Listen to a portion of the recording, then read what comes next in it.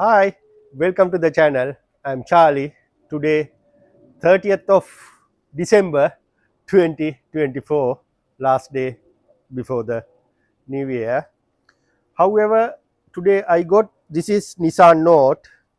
Basically, customer dropped last night. I don't know what's going on. He said his dashboard like a Christmas tree, and that car, Vauxhall Corsa, he said overheating problem. I left it running, and behind Mercedes C Class, and behind the C Class there is a Honda CRV.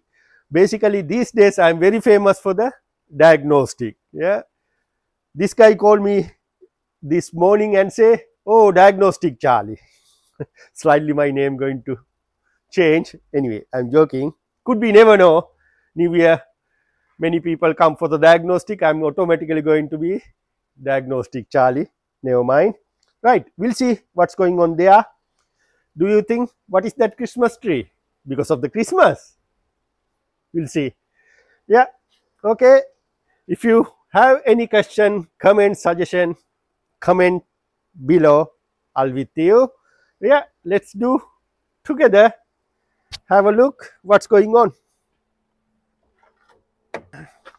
And also, without like these computers, we can't do any job. Latest cars you need a good scan tools for like this problem. Right i'm going to start the car.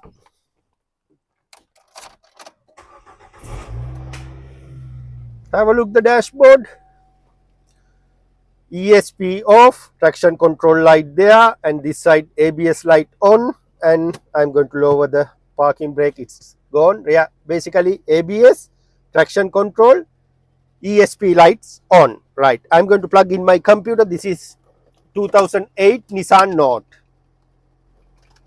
I'm going to check anti-lock brake system because ABS light on. Right. They said C101F left front wheel sensor circuit. Again, right front wheel sensor circuit. Right. Look like to me something not balancing together. Might be left side something not right or might be right side not right. I don't know. But next step i'm going to data section and have a look what's the live data for the four wheel speed sensor. I'm going to do the reverse little bit. Oh i can't do the reversing i can hear something knocking from the front engine bay.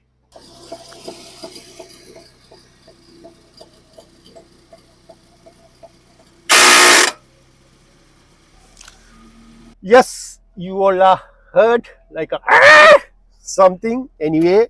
Right, switch off the car. I'm not going to move because this car won't move. I feeling might be something scallop front. I don't know at the moment right or left. We'll see. First of all i'm going to jack up left side and come back to you. We'll see what's going on there.